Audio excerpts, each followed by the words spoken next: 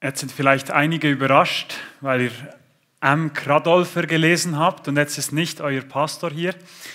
Das ist mein älterer Bruder. Ich darf heute hier sein, um mit euch den Punkt eurer Vision anzuschauen und bewirken positive Veränderung in der ganzen Welt, heute mit dem Fokus Afrika. Und er hat gefunden, dass ich da besser geeignet bin. Warum? Dazu kommen wir in der Predigt dann später noch. Aber deshalb hören wir heute auf eine Geschichte, wie ein Mensch aus Afrika so mit dem Evangelium erreicht wurde, dass er selbst zum ersten Afrika-Missionar der Geschichte wurde. Und diese Geschichte, die lesen wir in der Bibel, in Apostelgeschichte 8, die Verse 26 bis 40.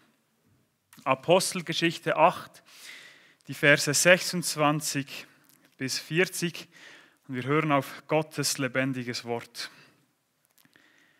Zu Philippus aber sagte ein Engel des Herrn, geh nach Süden auf der einsamen Straße, die von Jerusalem nach Gaza führt. Philippus ging und begegnete auf dem Weg dem Schatzmeister Äthiopiens, einem Eunuchen der äthiopischen Königin, der großen Einfluss hatte. Er war nach Jerusalem gekommen, um dort anzubeten und befand sich nun auf dem Heimweg. Er saß in seinem Wagen und las im Buch des Propheten Jesaja. Der Heilige Geist sagte zu Philippus: Lauf hinüber und geh neben dem Wagen her. Da lief Philippus hin und hörte, wie der Mann aus dem Propheten Jesaja las. Er fragte ihn: Verstehst du auch, was du da liest? Der Mann erwiderte, wie soll ich es verstehen, wenn es mir niemand erklärt? Und er bat Philippus einzusteigen und sich neben ihn zu setzen. Er hatte gerade folgende Schriftstelle gelesen. Er wurde wie ein Schaf zum Schlachten geführt. Und wie ein Lamm vor dem Scherer verstummt, so machte er den Mund nicht auf. Er wurde gedemütigt und erfuhr kein gerechtes Urteil. Wer kann von seinen Nachkommen sprechen? Denn sein Leben wurde von der Erde fortgenommen. Der Hofbeamte fragte Philippus, von wem spricht der Prophet? Von sich selbst oder von jemand anderem? Da begann Philippus bei dieser Schriftstelle und erklärte ihm die gute Botschaft von Jesus. Unterwegs kamen sie an einem Gewässer vorbei und der Hofbeamte meinte, sieh, da ist Wasser, kann ich mich nicht hier taufen lassen? Er ließ den Wagen anhalten. Sie stiegen in das Wasser und Philippus taufte ihn. Als sie wieder aus dem Wasser herauskamen, nahm der Geist Gottes Philippus fort und der Hofbeamte sah ihn nicht mehr, aber er setzte seine Reise voller Freude fort. Philippus fand sich in der Stadt Aschdod wieder. Er verkündete die Botschaft Gottes dort und in jeder Stadt auf dem Weg, bis er nach Caesarea kam. In dieser Geschichte haben wir zwei Personen, die miteinander ins Gespräch kommen. Und dabei werden vier Fragen gestellt und diesen vier Fragen wollen wir heute in dieser Predigt nachgehen. Und die erste Frage, die uns begegnet, ist, verstehst du auch, was du liest? Und diese Frage, die wird von Philippus gestellt. Philippus, das ist ein Mann, der uns in der Bibel nicht häufig begegnet. Aber in diesen Geschichten, in denen er vorkommt, in denen er eine Rolle spielt, da geschieht sehr Großes. Er, er, wird nur in der Apostelgeschichte erwähnt und zunächst als einer der sieben Männer, die für die Krankenpflege verantwortlich sein sollen. Und diese sieben Männer, die, die mussten drei Dinge mussten die haben, die mussten drei Charaktereigenschaften haben, die mussten einen guten Ruf haben, also eigentlich beliebt sein bei den Menschen, dass niemand etwas Schlechtes über sie sagen konnte. Dann mussten sie voll Heiligen Geistes sein und drittens auch noch voll Weisheit. Dies alles erfüllt anscheinend dieser Philippus, da er als einer dieser sieben Menschen gewählt wurde. Übrigens, von der ganzen Gemeinde, so ähnlich wie wir das in der Schweiz haben an Gemeindeversammlungen, wenn wir Verantwortungspositionen wählen. Und dann begegnet er uns ein Stücklein nicht mehr. Es wird auf einen anderen ähm, von den sieben der Fokus gelegt, aber dann erscheint er wieder, als er in Samaria das Evangelium predigt und viele Wunder vollbrachte, sodass ganze Menschenmengen sich bekehren und zu Jesus finden. Später lesen wir, dann kommt unsere Geschichte und dann später lesen wir, dass er sich mit seiner Familie in Caesarea niedergelassen hat und dort weiter das Evangelium gepredigt hat und auch den Paulus, als er auf Durchreise war, mit seinen Begleitern aufnahm und da wahrscheinlich auch dem Lukas, dem Autor der Apostelgeschichte, diese beiden Geschichten erzählte. Einerseits aus Samaria, andererseits diese Begegnung mit dem Schatzmeister. Und der Schatzmeister, vielleicht auch als Kämmerer bekannt, der stammt aus Äthiopien. Es ist nicht deckungsgleich mit dem heutigen Äthiopien, sondern es meint eigentlich einfach alles südlich von Ägypten. Es gibt da keine klare Grenze und irgendwann wird es schon aufgehört haben. Aber alles südlich von Ägypten, das bezeichnet Äthiopien. Und es heißt über ihn, er war ein reicher, ein wichtiger Mann, der großen Einfluss hatte. Er war ein gottesfürchtiger Mann. Das heißt, er glaubte an den Gott Israels und betete diesen an, ohne aber zum Volk Israel dazuzugehören. Und er kommt nun aus, aus Jerusalem, hat dort im Tempel angebetet, wahrscheinlich im Vorhof der Heiden, und ist jetzt auf dem sehr langen, beschwerlichen Heimweg zurück nach Äthiopien. Warum er nicht ganz zum Judentum übergetreten ist, wird klar durch seine Bezeichnung. Er wird bezeichnet als Eunuch, also als kastrierter Diener der Königin. Und diesen war das Dazugehören zur Gemeinde der Juden untersagt, gemäß 5. Mose 23, Vers 2, weil sie sich weder beschneiden lassen können, noch sich vermehren können, was zwei wichtige Dinge sind, um dazuzugehören. Aber er glaubte an diesen Gott, er hat ihn angebetet. Und er war ein reicher Mann, das zeigt sich daran, dass er es sich leisten konnte, eine Schriftrolle zu kaufen, wahrscheinlich mit dem ganzen Jesaja-Text. Jetzt sitzt er in seinem Wagen mit seiner Entourage wahrscheinlich unterwegs und er liest gemäß der, so wie es üblich war, laut den griechischen Text vor.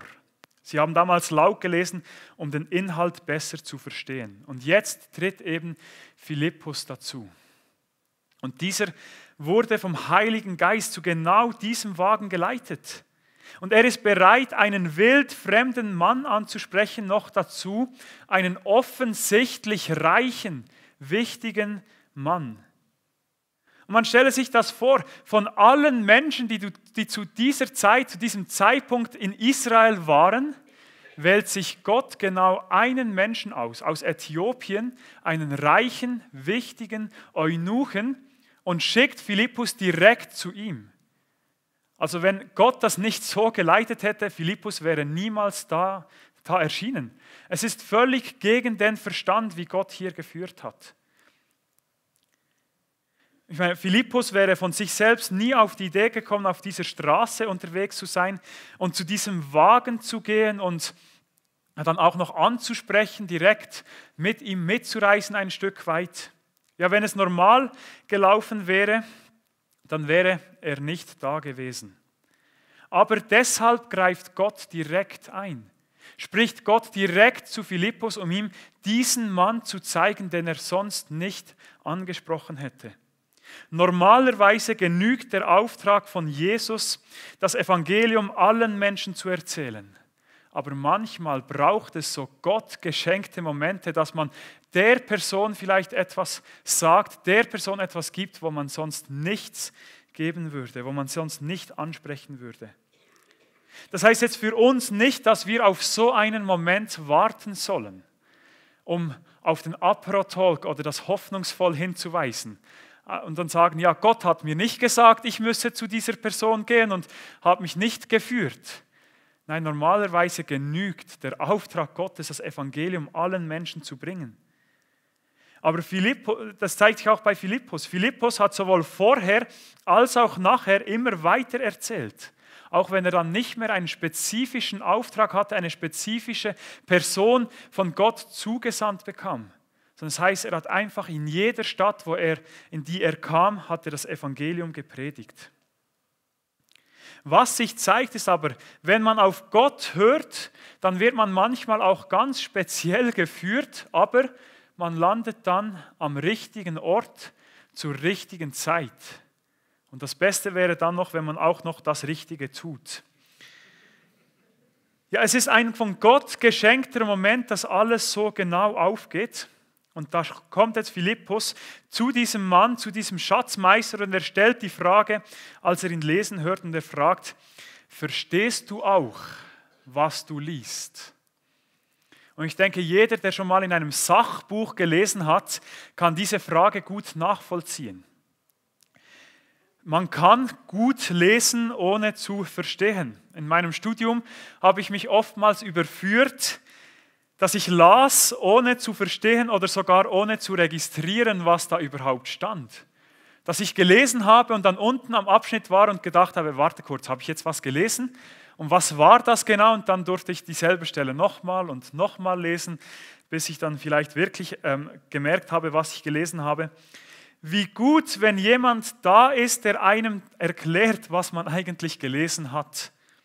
Und da wäre auch, oder da ist auch der Schatzmeister sehr froh darum. Und das führt uns zur zweiten Frage. Wie soll ich es verstehen, wenn es mir niemand erklärt? Ja, der Schatzmeister, er versteht die Stelle nicht, die er liest. Und hier kommt nun Philippus ins Spiel, der es erklären kann und auch soll. Es ist gut, wenn man Fragen jemandem stellen kann, der weiß, wovon er spricht und wie etwas zu erklären ist. Und wisst ihr, hier komme auch ein Stück weit ich ins Spiel. Vielleicht eben habt ihr euch bisher gefragt, warum kommt jetzt der hier diese Predigt zu diesem Thema halten? Mein Ziel gemeinsam mit meiner Frau und unserem kleinen Sohn ist es, genau solche Fragen zu beantworten oder zu helfen, dass solche Fragen beantwortet werden können. Deshalb werden wir nach Afrika gehen und ich werde mich dort in die theologische Bildung investieren. Wir werden Mitte September als Familie, so Gott will und wir leben, nach Tansania ausreisen. Und ich werde dort in einer Bibelschule der Tansania Evangelistic Church als Lehrer angestellt und auch weitere Verantwortlichkeiten haben und meine Frau wird sich in einem sozialdiakonischen Projekt mit Kindern engagieren. Und dieses ganze Projekt ist entstanden aus der Arbeit, die die Familie Lehner dort bekam, die ja auch einigen ein Begriff ist. Warum investieren wir uns aber in so eine Arbeit in einem fernen Land, was vielleicht auch ein bisschen weniger bequem ist? Weil ich eben der Überzeugung bin, dass es genauso Menschen braucht, die Fragen beantworten können. Dass es wichtig ist, dass wir verstehen, was Gott uns sagt in seinem Wort. Und dazu benötigt es einerseits auch Fachleute, die das können. Natürlich kann jeder selbst auch zu Antworten kommen, Fragen beantworten, aber es ist auch gut, wenn es jemand ist, der weiß, wovon er spricht. Und noch besser natürlich, wenn er dieselbe Sprache spricht, von derselben Kultur oder Herkunft ist und da auch diese Brücke nicht da ist. Und deshalb ist es nicht mein Ziel, selbst die Fragen zu beantworten, sondern Menschen auszubilden, die das können. Und sogar noch weiter, meine Vision ist es, eine Stufe darüber anzufangen, die Lehrer der Bibelschule darin zu unterstützen, die Ausbildung der einheimischen Pastoren zu verbessern, sodass Menschen in der Lage sind, dass die Einheimischen selbst in der Lage sind, auf Menschen zuzugehen, ihnen die Fragen zu erklären, ihnen zu erzählen, wer Jesus ist, Kirchen zu gründen, Menschen zu Jesus zu führen. Wisst ihr, die Möglichkeiten dafür sind riesig. Gerade in Afrika erleben wir im Moment eine Erweckung, wie sie noch nie da gewesen ist. 1900, also in, in, in der ähm, Jahrhundertwende vom 19. ins 20. Jahrhundert gab es 1% Christen im Kontinent Afrika. Im Moment sind es 50% Christen, die sich jedenfalls so nennen. Eine riesige Erweckung, die Chancen sind riesig. Aber wichtig ist auch, dass es nicht nur bei der Erweckung bleibt, sondern dass jetzt auf ein gutes Fundament gestellt wird, dass Fragen, die aufkommen, beantwortet werden können. Als wir letztes Jahr im Januar, Februar schon in Tansania waren, um das Land und die Leute kennenzulernen, war ich mit einer Missionarin auf dem Markt. Und da saß ein Mann, der gerade nichts am Verkaufen war, der saß auf seinem Schemel am Boden und er las in der Bibel. Stelle man sich vor, man geht in den Coop, in die Mikro und da sitzt ein Verkäufer an der Kasse, weil er gerade nichts verkauft und liest in der Bibel. Und die Missionarin hat ihn dann gefragt, verstehst du auch, was du da liest? Und sie konnte ihm helfen bei der Stelle, wo er gerade dran war. Fragen sind da und es ist wichtig, dass jemand da ist, der sie beantworten kann. Eben natürlich nicht nur Sache der Pastoren, mit Menschen über Jesus ins Gespräch zu kommen, aber da fängt es an, dass die dann ihren Menschen wieder weitergeben können, wie sie das machen können und diese selbst dann wieder Fragen beantworten können, Menschen zu Jesus zu führen. So entsteht Multiplikation. Natürlich nicht in jedem Land in Afrika einfach so möglich, sondern vor allem in einem Land, das eben gerade eine Erweckung hatte. In einem Land, in dem es noch keine Christen gibt, kann man auch keine Pastoren ausbilden. Da muss man zuerst mal in die Basis investieren, Gemeinden gründen. Deshalb gehen wir eben nach Tansania und ich darf zu euch heute über dieses Thema sprechen und diesen Bibeltext mit euch anschauen. Und welchen Text? hat denn der Schatzmeister nicht verstanden? Kommen wir zurück eben zu unserem heutigen Bibeltext. Welchen Text hat er nicht verstanden? Was war seine Frage? Es ist der Text aus Jesaja 53, Verse 7 bis 8. Und ihr merkt es, Elia hat in der Einleitung die Verse direkt vorher gelesen. Und jetzt kommen eben die Verse 7 bis 8. Er wurde wie ein Schaf zum Schlachten geführt und wie ein Lamm vor dem Scherer verstummt so machte er den Mund nicht auf. Er wurde gedemütigt und erfuhr kein gerechtes Urteil. Wer kann von seinen Nachkommen sprechen? Denn sein Leben wurde von der Erde fortgenommen. Und der Schatzmeister, er fragt jetzt Philippus die dritte Frage, die wir heute gemeinsam anschauen. Von wem spricht der Prophet? Von sich selbst oder von jemand anderem? Die Antwort von Philippus, die wird nicht wörtlich wiedergegeben, aber als Übersicht. Da begann Philippus bei dieser Schriftstelle und erklärte ihm die gute Botschaft von Jesus. Philippus benutzt diese Bibelstelle, um ihm von Jesus zu erzählen und zu sagen, wer Jesus ist, was er getan hat. Und dafür eignet sich diese Stelle natürlich außerordentlich gut. Wenn wir gerade noch einmal die Verse anschauen, die vorher kommen, die Elia vorher auch vorgelesen hat, dann sehen wir, was Jesus auch für uns getan hat.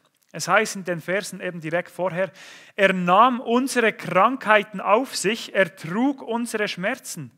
Wir dachten, er wäre von Gott geächtet, geschlagen und erniedrigt. Doch wegen unserer Vergehen wurde er durchbohrt, wegen unserer Übertretungen zerschlagen. Er wurde gestraft, damit wir Frieden haben. Durch seine Wunden wurden wir geheilt. Es geht hier um Jesus. Es geht nicht um den Propheten Jesaja, der alles niedergeschrieben hat. Es geht auch nicht um jemand anderem. Nein, es geht um Jesus Christus. Man könnte eigentlich seinen Namen überall einfügen. Jesus nahm unsere Krankheit auf sich. Jesus trug unsere Schmerzen. Jesus wurde für unsere Vergehen durchbohrt, wegen unserer Übertretungen zerschlagen. Jesus wurde gestraft, damit wir Frieden haben. Durch die Wunden von Jesus werden wir geheilt. Jesus wurde wie ein Schaf zum Schlachten geführt. Wie ein Lamm vor dem Scherer verstummt, so machte Jesus den Mund nicht auf. Jesus wurde gedemütigt. Er fuhr kein gerechtes Urteil. Wer kann von seinen Nachkommen sprechen? Denn das Leben von Jesus wurde von der Erde fortgenommen. Warum macht Jesus das? Und der Text spricht es an, wegen uns. Er tat das immer für uns, weil er uns so sehr liebte, weil er die Menschen so sehr liebte. Jesaja erwähnt es auch explizit, so heißt es im Vers nachher, im Vers 10. Wenn sein Leben jedoch als Opfer für die Sünde dargebracht wird, wird er viele Nachfolger haben. Er wird lange leben und die Absichten des Herrn werden durch seine Hand gedeihen.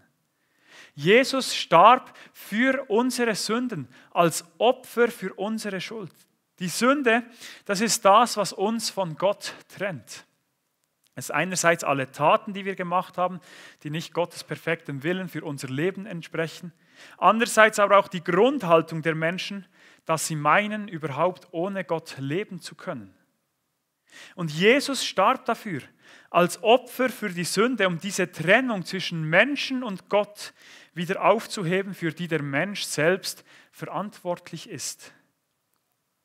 Die Reaktion von uns Menschen darauf, auf dieses Opfer von Jesus, dieses Angebot, das er uns gemacht hat durch seinen Tod am Kreuz von Golgatha, ist, entweder glauben wir daran, dass er das wirklich für uns gemacht hat, wir nehmen das an, oder aber wir lehnen es ab.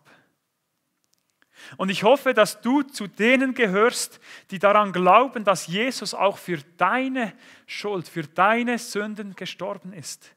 Dass du wieder Frieden mit Gott haben kannst. Dass er auch deine Krankheit, deine Schmerzen auf sich nahm.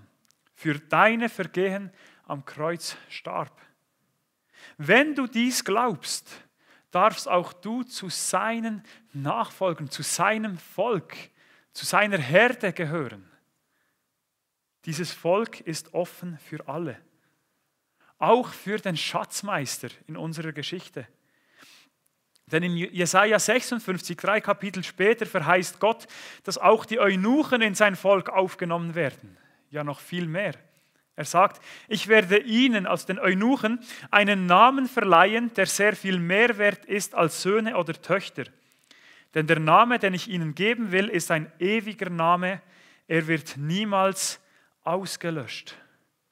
Und hier haben wir die Verheißung für das ewige Leben, selbst für solche, die früher nicht ins Volk Gottes gehören konnten, aber doch diese Verheißung, sie haben, sie dürfen das ewige Leben haben, wenn sie Gott nachfolgen. Und so dürfen auch wir das haben. Wir dürfen das ewige Leben erlangen. Was ist die Antwort auf die Liebe Gottes, die sich zeigt in seinem Sohn? Wie bereits gesagt, ist es der Glaube, die Hinwendung zu Gott. Aber dieser Glaube, der ist unsichtbar. Das ist nicht etwas, das man jemandem ansieht, doch der glaubt wirklich in seinem Herzen, dass Jesus für ihn gestorben ist. Klar, häufig bekommt es jemand mit, der mit, mit dir betet, aber der Glaube selbst ist unsichtbar. Um aber den Glauben sichtbar zu machen, um sichtbar zu machen, was unsichtbar ist, dass man daran glaubt, was Jesus für dich getan hat, dass man daran glaubt, dass er für uns gestorben ist. Dafür ist die Taufe da. Und das führt uns zur vierten und letzten Frage, die wir in unserem Text, die uns in unserem Text begegnet. Sieh, da ist Wasser. Kann ich mich nicht hier taufen lassen? Die sichtbare Antwort auf den unsichtbaren Glauben ist die Taufe. Und diese gehört zum Start des Glaubens dazu. Wenn man also glaubt, das unsichtbar, dann kann man oder soll man das sichtbar machen in der Taufe als Zeugnis vor der sichtbaren und unsichtbaren Welt. Ja, ich gehöre wirklich zu diesem Jesus. Und der Schatzmeister fragt eben, kann ich mich nicht hier taufen lassen? Es ist, hat ja Wasser da. Und jetzt ist den, den aufmerksamen Lesern vielleicht etwas aufgefallen, die den Text in ihrer Bibel mitverfolgt haben. Hier wird ein Vers übersprungen in der Zählung. Nach dem Vers 36 folgt direkt der Vers 38. Warum? Dieser Vers 37, der fehlt, der wurde später hinzugefügt, um zu zeigen, was es für die Taufe benötigt. Also die, die frühe Kirche hat gemerkt, da fehlt noch irgendwas, ähm, nämlich das Bekenntnis von, von dem Schatzmeister, dass er wirklich glaubt. Er sagt nirgends, dass er wirklich glaubt, also muss das doch noch kommen. Es wurde hinzugefügt. Aber nicht, weil sie das einfach erfunden hätten, sondern es wurde mit überliefert. Nicht im Bibeltext, aber schon im zweiten Jahrhundert nach Christus, also sehr kurze Zeit darauf, kennen sie diese Antwort vom Schatzmeister. Und es wurde einfach dann später noch in den Text eingefügt. Was steht da? Es steht eben die Antwort von Philippus, dass der Schatzmeister getauft werden kann, wenn er von Herzen glaubt.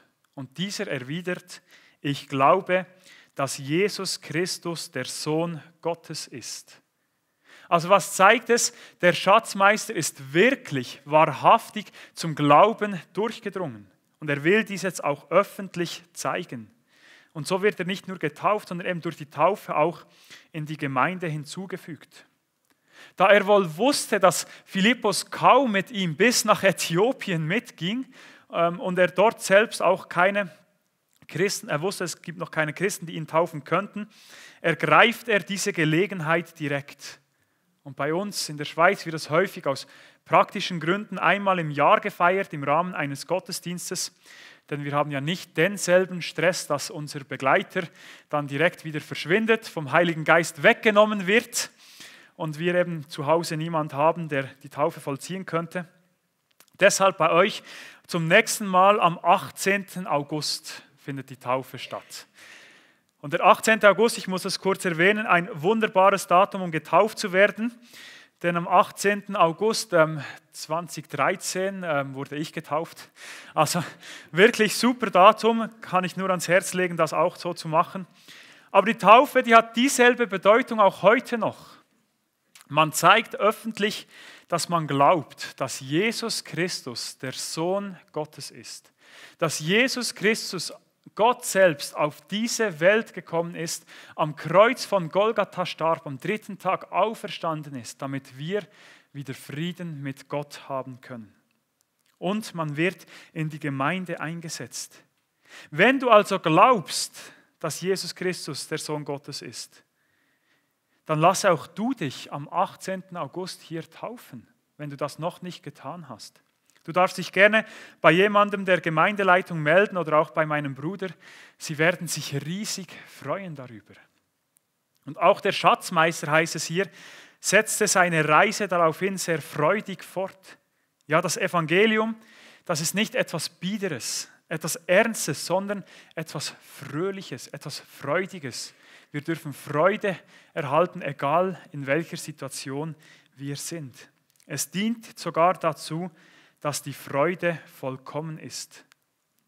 Und wisst ihr, das ist kein, keine kurze Freude, sondern der Schatzmeister, der war nach dieser wochenlangen Reise immer noch so freudig mit Jesus unterwegs, dass er es gar nicht anders konnte, als allen Menschen da in Äthiopien diese Botschaft weiter zu erzählen. Und so wurde er tatsächlich eben zum ersten Missionar, der in Afrika das Evangelium verkündet hat. So berichtet es uns Irenäus. Und so wurde das Psalmwort auch erfüllt aus Psalm 68, Vers 32, wo es heißt, Äthiopien soll dich anbeten. Singt Gott, ihr Königreiche der Erde, lobt den Herrn. Wunderbar, wie hier ein Psalmwort, eine, eine Prophezeiung auch erfüllt wurde durch diesen Schatzmeister. Philippus hingegen wurde vom Heiligen Geist auf wundersame Weise weggenommen, hat aber dann nicht aufgehört zu predigen, nur weil er jetzt diesen Auftrag erfüllt hatte, sondern es heißt, er hat in jeder Stadt die Botschaft Gottes verkündet. Was ist also die Konsequenz dieses Treffens von den beiden Männern? Der eine erzählt freudig das Evangelium weiter, weil er selbst diese Botschaft erst kennenlernen durfte und überzeugt ist, jeder Mensch sollte das hören. Und der andere, der erzählt auch das Evangelium weiter, weil er gerade erleben durfte, jemand hat Gott in sein Leben aufgenommen, ließ sich taufen und er will, dass es noch viel mehr Menschen tun. Was sollen wir aus der Geschichte lernen? Manchmal gebraucht Gott übernatürliche Geschehnisse, um sein Evangelium zu verbreiten, wie in unserer Geschichte. Aber sowohl vorher als auch nachher hat Philippus das Evangelium ganz normal verkündet, ohne den spezifischen Auftrag. Ob wir jetzt eine Stimme von Gott haben oder einfach das Wort Gottes, das allen Christen den Auftrag gibt, die beste Botschaft der Welt weiterzutragen, spielt keine Rolle. Die Hauptsache ist es, dass wir es tun. Jeder nach seiner Art an seinem Ort. Wem könntest du nächste Woche von Jesus erzählen? Bitte doch Gott, dir so einen Moment zu schenken, bei dem du einfach ins Gespräch einsteigen kannst und vielleicht auch einfach einladen kannst für diese beiden Anlässe, die wir vorher gehört haben. Aber dann nicht nur Gott bitten darum, dir so einen Moment zu schenken, sondern wenn der Moment da ist, es auch zu tun. voller Mut. So wie Philippus oder auch der erste Missionar in Afrika, der Schatzmeister. Das zweite ist, Fragen zur Bibel sind dazu da, beantwortet zu werden. Es braucht häufig nicht extra ausgebildete Menschen dafür, denn wir haben so viele Menschen in unserer Gemeinde, die schon so lange mit Jesus unterwegs sind, die sich so viele Fragen, die wir vielleicht haben, schon gestellt haben. Helft einander beim Verstehen von Gottes Wort. Ihr habt nächste Woche Kleingruppenwoche. Gerade ein super, eine super Möglichkeit, miteinander ins Gespräch zu kommen, einander auf dem Weg zu helfen. Das dritte ist, der Prophet Jesaja spricht von Jesus, der wie ein Schaf zum Schlachten geführt wurde und seinen Mund nicht auftat, weil er an unserer Stelle starb, für unsere Sünden, um die Trennung zwischen Gott und Mensch aufzuheben. Was für ein Geschenk. Und die Antwort, die wir auf dieses Geschenk geben können, das vierte, das ist der Glaube. Dass man sagt, ja, ich glaube, dass du das für mich getan hast und in einem Gebet Jesus sein Leben gibt. Dieser Glaube ist aber nicht sichtbar. Und deshalb hat Gott die Taufe eingesetzt, die das Unsichtbare sichtbar macht. Falls du noch nicht getauft bist und aber sagst, ja, ich glaube, dass Jesus Christus der Sohn Gottes ist, herzliche Einladung, dich zu melden für die Taufe am 18. August. Wir beten zum Schluss. Herr Jesus, danke für dein Opfer, dass du am Kreuz von Golgatha gestorben bist für unsere Sünden. Danke hast du alles auf dich genommen und so den Weg zum Vater freigemacht. Ohne dich wären wir völlig verloren. Schenk, dass wir gerade diese Woche vielleicht Momente erhalten dürfen, wo wir unseren Bekannten, Verwandten, Freunden diese frohe Botschaft weitergeben können, weil wir überzeugt sind, es ist die beste Botschaft, die es überhaupt gibt. Und wenn so ein Moment da ist, schenk uns den Mut, das auch zu tun, dich mutig zu bekennen. Amen.